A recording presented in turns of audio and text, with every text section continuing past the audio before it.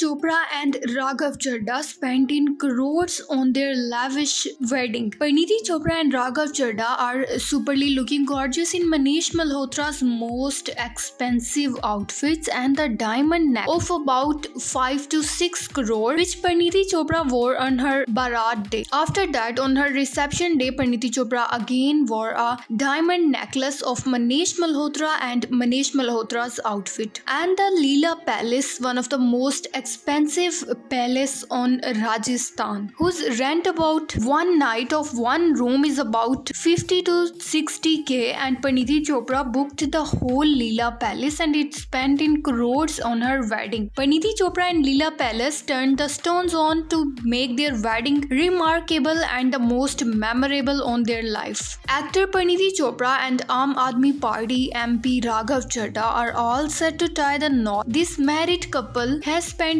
crores, about 50 crores they have spent on their wedding just to make their wedding day most memorable. Nidhi Chopra and Raghav Chadha made special welcome for their guests at wedding and provide them security mans, bulletproof land cruisers for all the guests and for their security. Aam Aadmi Party MP Raghav Chadha, Arvind Kejriwal's blue-eyed boy, Harsimrat Kaur said there is no wonder that the Punjab government has been asking the government how it spent 50,000 crore loan that it took in the last 18 months. Nidhi Chopra and Raghav Chadha spent a lot of money just on the security to make their wedding private. Nidhi Chopra and Raghav Chadha spent 30 crores in just for making the wedding special for their guests, providing them gifts and thanking them that they come to their wedding.